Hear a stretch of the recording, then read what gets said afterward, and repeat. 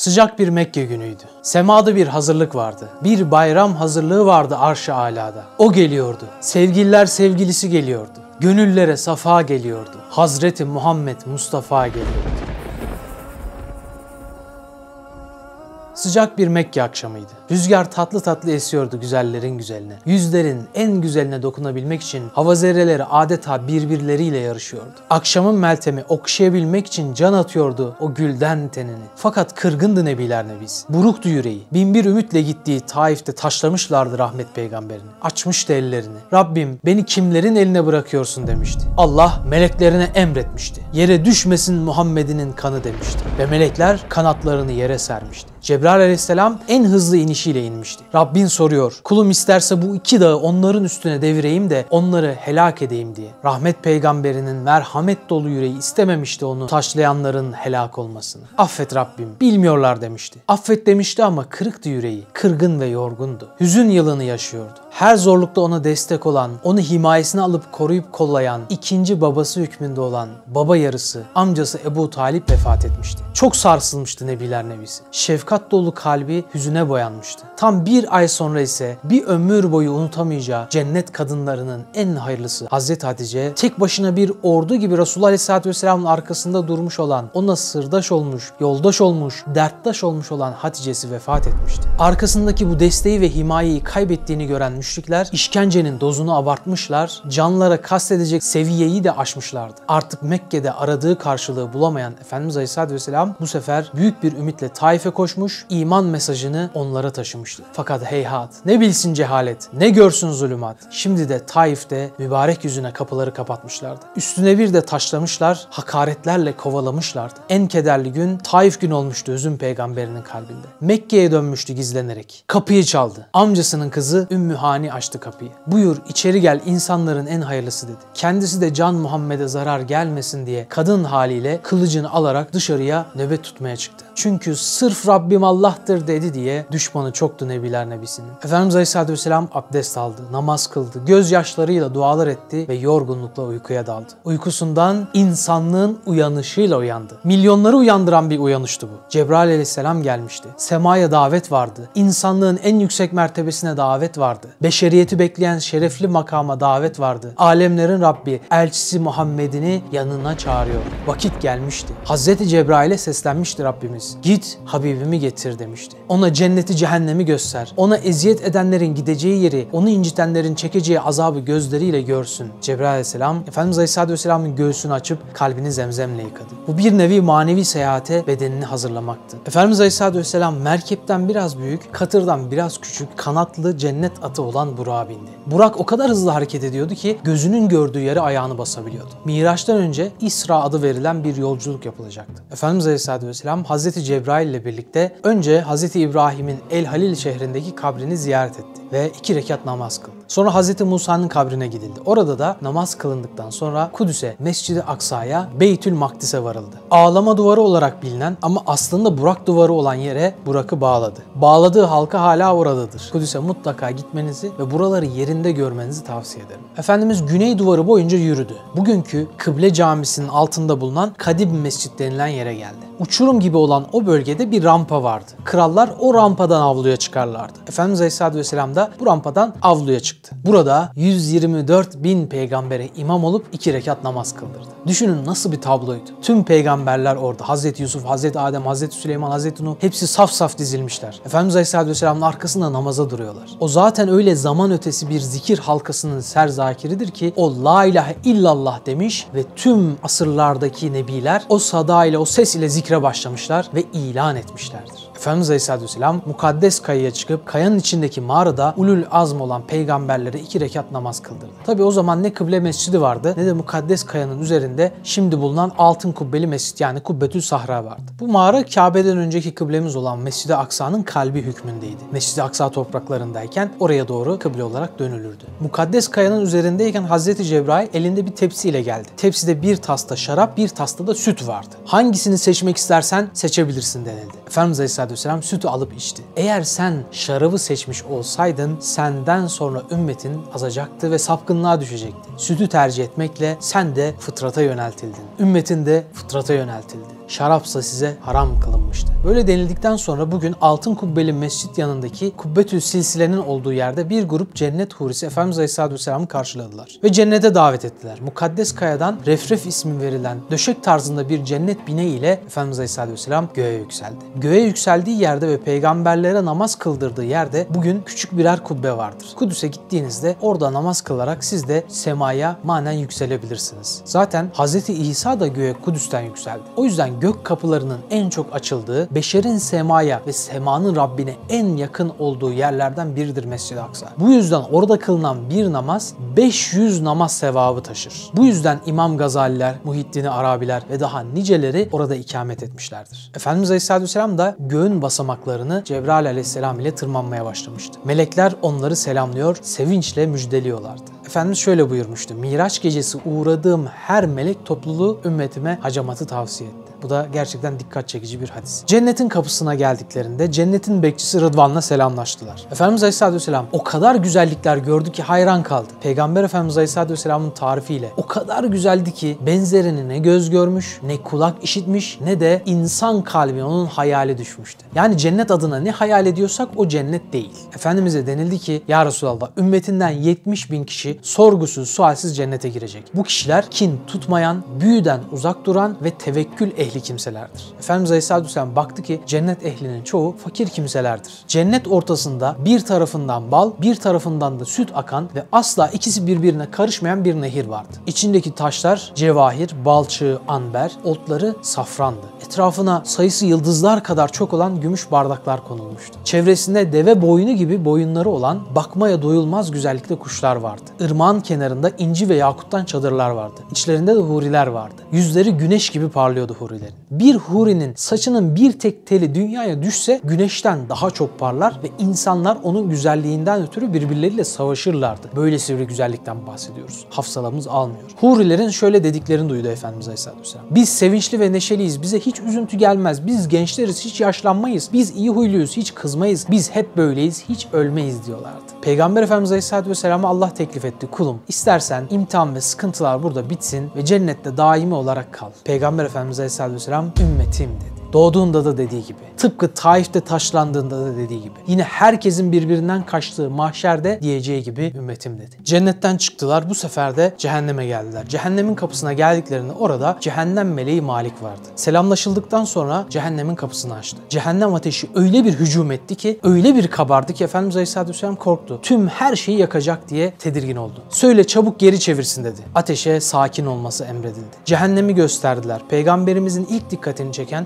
kocasına nankörlük eden çokça kadın olduğunu görmesiydi. Sonra cehennemde kokmuş leş yiyenleri gördü Efendimiz Aleyhisselatü Vesselam. Bunların kimler olduğunu sordu. Bunlar gıybet ederek insanların etlerini yiyenlerdir denildi. Bir kısmı da kendi etlerini yiyordu ve dilleri kesiliyordu. Bunlar da laf taşıyan fitneci kimselerdir denildi. Sonra bir topluluk gördü. Dudakları deve dudağı gibiydi. Onlara bir takım memurlar görevlendirilmişti. Dudaklarını kesiyorlar ve ağızlarına ateşten bir taş koyuyorlardı. Cebrail aleyhisselam bunlar yetimlerin mallarını haksızlıkla yiyenlerdir dedi. Ateşten makaslarla kendi dudaklarını kesenleri gördü. Kim olduklarını sordu. İlmiyle amel etmeyen din alemleridir denildi. Bir grup insan pislik yiyor, bazıları da vücutlarından asılmışlardı. Bunlar zina edenlerdi. Karınları içi yılan dolarak şişmiş, ayaklar altında ezilenler vardı. Bunlar da faiz yiyenlerdi. Başları taşla ezilenler vardı. Bunlar da namaz kılmayanlardı. Hepsine bir yandan da ateşli azaplar da uygulanıyordu. Peygamber Efendimiz Aleyhisselatü Vesselam bu manzaraları görünce ümmetini her fırsatta sakındırmış, günahların aldatıcı zevklerinin dehşetli akıbetinden uzak durmamız için bize bildirmiş ve çokça tövbe etmeye davet etmiştir. Peygamber Efendimiz Aleyhisselatü Vesselam Miraç'ta birinci kat semaya geldi. Cebrail Aleyhisselam semanın kapısını çalınca görevli melek kim olduğunu sordu. Allah'ın Resulü Muhammed denilince melek sevinçle açtı kapıyı. Bu ne güzel, ne müjdeli bir ziyarettir dedi. Allah'ın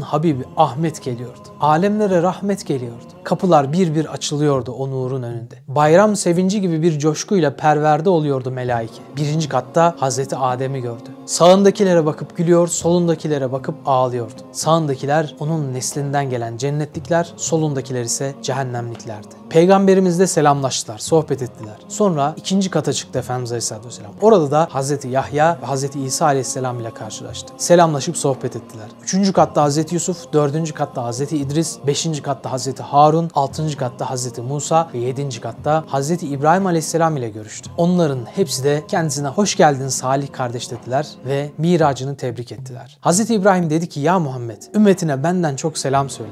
Onlara cennetin toprağının çok güzel, suyunun çok tatlı, arazisinin son derece geniş ve dümdüz olduğunu bildir. Söyle de cennete çok ağaç diksinler dedi. Cennetin ağaçları Subhanallahi velhamdülillahi ve la ilahe illallah ve allahu ekber demekten ibarettir. Efendimiz Aleyhisselatü Vesselam diyor ki sonra Sidretül Münteha'ya çıkarıldım. Bunun meyveleri Yemen'in hecer testileri gibi iriydi ve yaprakları da fil kulakları kadar büyüktü. Cebrail Aleyhisselam bana işte bu Sidretül Münteha'dır dedi. Burada dört nehir vardır. İkisi batini, ikisi zahiri nehir. Bunlar nedir ey Cebrail diye sorunca Cebrail Aleyhisselam şu iki batını nehir cennetin iki nehridir. Zahiri iki nehir ise biri Nil, diğeri Fırat'tır dedi. Cebrail Aleyhisselam Sidretül Münteha denilen yere geldiklerinde ey Allah'ın kutlu peygamberi benim buradan bir adım daha atmama izin yoktur. Adım atarsam yanarım fakat sana izin verilmiştir. Buyurunuz dedi ve Efendimiz Aleyhisselatü Vesselam yalnız başına devam etti. Kendi ifadesiyle o kadar yükseldim, öyle bir makama çıktım ki orada kader levhalarını yazan kalemlerin seslerini duymaya başladım. Efendimiz Aleyhisselatü Vesselam tarifi imkansız manzaraları şahit oldu. Ve nihayet Kab-ı Kavseyn makamına çıktı. Yani iki yay ortası hatta belki de daha yakın olacak kadar Rabbine yaklaştı. Cenab-ı Hakk'ın cemaliyle müşerref oldu. Rabbimiz korkma ey Muhammed yaklaş buyurdu. Efendimiz Yüce Rabbini gördü. O heyecan halinde Efendimiz Aleyhisselatü Vesselam'ın şu ferasetine hayran kalmamak elde değil. Allah'a selam verirken hata etmiyor. Selam Allah'ın isimlerinden birisi olduğu için Allah'ın selamı üzerine olsun denilmez. Selam vermek yerine Efendimiz Aleyhisselatü Vesselam yeryüzünün halifesi olduğunu, tüm mahlukatın temsilcisi olduğunu ifade eden bir söz söyledi. Bizim namazlarda son oturuşta okuduğumuz tahiyyat ile selamladı. Ettehiyyatü lillahi ve selavatü ve tayyibat diye başlayan bütün mübarek şeyler, bütün dualar ve temiz sözler Allah'a mahsustur. Tüm mahlukatın tesbihlerini, şükür ve hamdlerini, ibadetlerini onların namına sana sunuyorum Rabbim manasını ifade etmiş oldu. Cenab-ı Hak ona Cebrail vasıtası olmaksızın Amener Resulü suresinin ayetlerini vahyetti ve nice esmasının sanatlarının farklı tecellilerini ona gösterdi. Aralarında geçen sohbet bizim için bir sırdır. Artık ahirette öğreneceğiz. Bizim ne aklımız ne hayalimizin alacağı zamansızlık ve mekansızlıktaki boyutlar ötesi bir meseleyi idrak edemeyeceğimiz için Efendimiz Aleyhisselatü Vesselam bize bu kısmı izah etmemiştir. Allah'ın huzurundan döndüğünde her katta peygamberlere veda ede ede inerken Hz. Musa Rabbinden ne götürüyorsun diye sordu. Peygamberimiz 50 vakit namaz farz kılındığını söyledi. Hz. Musa rica etti git Rabbine geri dön niyaz et. Bunu biraz azaltsın. Ben ümmetini tanıyorum. Güç yetirememelerinden korkuyorum dedi. Efendimiz Aleyhisselatü Vesselam geri döndü. Niyazda bulununca 40 vakte düşürüldü. Efendimiz Aleyhisselatü Vesselam yine Hazreti Musa'nın yanına geldiğinde Hazreti Musa yine rica etti. Geri dön niyaz et Rabbine dedi. Efendimiz geri dönünce 10 daha düşürüldü. Derken bu şekilde 5 vakte kadar düştü. Hazreti Musa tekrar dönmesini isteyince Efendimiz Aleyhisselatü Vesselam ey kardeşim Musa vallahi Allah'a karşı yüzüm kalmadı ki haya ediyorum tekrar istemeye. Allah Hazreti Musa'ya rahmet etsin. O peygamberimize geri dönüp rica etmesini söylemese bugün 5 vakit değil 50 vakit namaz kılmamız gerekecekti. Fakat Rabbimiz o sonsuz merhametiyle 5 vakte 50 vakit sevabı vereceğini de müjdelemiştir. Aklınıza geliyorsa neden ilk başta 5 vakit denmedi diye bir hikmeti şu. 50 vakit sevabı var. Bu şekilde 50 vakit sevabı olmuş oldu. Diğer hikmeti de Allah zaten biliyordu sonsuz ilmiyle Efendimizin geri döneceğini veya 5 vakte indireceğini. Ama Efendimiz Aleyhisselatü Vesselam olan muhabbetimizin bu şekilde artmasını ve onu aracı yaparak onu şereflendirmeyi murat etmişti. Bir de Allah insan psikolojisini çok iyi bildiği için, onu yaratan olduğu için direkt 5 denilse belki gözümüzde çok büyürdü ama 50'den 5'e düştü deyince ne kadar kolay görmeye başlıyoruz değil mi? En basit bir mağazada bile indirim yaparken 500 TL'den 50 TL'ye düştü denilince ihtiyacımız olmasa bile gidip almak istiyoruz. Rağbet gösteriyoruz. İşte bu hikmetle namaza rağbeti arttırmış oluyor Rabbimiz bizim için. Namaz hediyesinin Amener Resulü suresinin dışında bir diğer Miraç hediyesi ise ümmet içinde büyük günah işleyenlerin affedileceği müjdesi. Düşünün bu hediye olmasaydı büyük günah işleyen, zina eden, içki içen, anneye babaya isyan eden vesaire bu tarz kebairleri işleyen insanlar ne kadar büyük bir azaba gireceklerdi hesap edin. Belki ebedi cehennemde kalacaklardı. Yalnız şunu da belirtelim. Bu müjde hiçbir müminin cehenneme girmeyeceği anlamında değildir. Her günahın affedileceğini ve eğer günahkar olsa bile iman ile ölmüşse cehennemde ebedi kalmayacağını bildirmektir. Sevabı günahlarından çok olan müminler direkt cennete gidecekler. Günahı ağır basanlar ise bu günahlardan temizlenmek için cehennemde bir müddet belki de uzun bir müddet kaldıktan sonra bir şekilde er geç cennete gireceklerdir. Dönelim tekrar Miraç hadisesine. Efendimiz Aleyhisselatü Vesselam tekrar Mekke'ye döndüğünde olanları amcasının kızı Ümmü Hani'ye anlattı. O da bunu asla insanlara anlatmaması gerektiğini söyledi. Efendimiz Aleyhisselatü Vesselam da anlatılması gerektiğini söyledi. Sabahın çok erken bir vaktinde evden çıktığında Ebu Cehil ile karşılaştı. Halini sorgulayınca Efendimiz Aleyhisselatü Vesselam kısaca Miraç'tan bahsetti. Müşriklerin başı olan Ebu Cehil eline fırsat geçtiğini düşünüp tüm halkı buraya toplasam onları da anlatır mısın dedi. Amacı onun deli olduğunu iddia etmekti. Tüm halkı topladı. Efendimiz Aleyhisselatü Vesselam'ı sıkıştırmaya başladılar. İnanmayıp üstüne gittiler. Madem Kudüs'e gittin bize kapılarını, duvarlarını tarif et dediler. O zaman İlya olarak biliniyordu Kudüs. Roma İmparatoru Hadrian'ın yaptırdığı bir tapınak ve oraya has bir mimari ile sütunlar vardı ki bugün hala kalıntıları Mescid-i Aksa'nın avlusundadır. Efendimiz Aleyhisselatü Vesselam onları tarif etti. Onun o mübarek gözleri onlara değdi diye bugün tahrip edilmemiştir. Müşrikler Efendimiz Aleyhisselatü Vesselam'ı sıkıştırmaya ve gitmesine rağmen dikkat etmediği detaylarından sormaya başladılar. Şu binayı, şu duvarı tarif et diye detay istiyorlardı. Yoksa yalancı ilan edeceklerdi. Efendimiz Aleyhisselatü Vesselam diyor ki onların tekziplerinden ve suallerinden pek çok sıkıldım. Hatta öyle bir sıkıntı hiç çekmemiştim. Birden Cenab-ı Hak Beytül Makdis'i bana gösterdi. Ben de Beytül Makdis'e bakıyorum, birer birer her şeyi tarif ediyorum. İşte o vakit Kureyş baktılar ki Beytül Makdis'ten doğru ve tam haber veriyor. Hem Resul-i Ekrem Aleyhisselatü Vesselam Kureyş'e demiş ki yolda giderken sizin bir kafilenizi gördüm. Kafileniz yarın filan vakitte gelecek. Hatta Efendimiz Aleyhisselatü Vesselam kafilenin önünde siyaha yakın koyu renkli bir deve olduğunu, onun üstünde biri siyah biri alaca iki tane çuval olduğunu söyledi ve iki farklı kafileden daha bahsetti. Hemen Mekke Tenim yoluna çıktılar. Hakikaten de Peygamber Efendimiz Aleyhisselatü Vesselam haber verdiği saatte aynı tarif ettiği şekilde bir kafile geldi. Fakat ikna olmalarına rağmen iman etmediler. Sen bize sihir yaptın dediler. Gidişi bir ay, dönüşü bir ay olan mesafeye nasıl olur da bir gecede kısacık bir zamanda gidilsin de oradan cennete çıkılsın akılları almıyordu. Üstadın dediği gibi her şeyi maddede arayanların akılları gözlerine inmiştir. Göz ise maneviyatta kördür. Yoksa görecek göze karanlık perde olmaz. Görmeyecek göze ışık ne yapsın? Bu inanılması güç hadiseyi azılı müşrikler bir malzeme olarak kullanma çabasına girdiler. Hemen Hazreti Ebu Bekir'e koştular. Eğer Hazreti Ebu Bekir gibi tanınan, bilinen, otorite olan saygın birisi bunu yalanlar da onu peygamberden koparırlarsa insanlar bu hadisenin etkisiyle büsbütün onu terk ederler diye böyle bir niyet taşıyorlardı. Hazreti Ebu Bekir'e bu hadiseleri istihza eder, alay eder bir halde anlattılar. Hazreti Ebu Bekir'in tereddüte düşüp şüpheye kapılacağından emindiler. Fakat o ise tam aksine duyar duymaz hiçbir saniye tereddüt etmeden bunları o mu söyledi? O söylediyse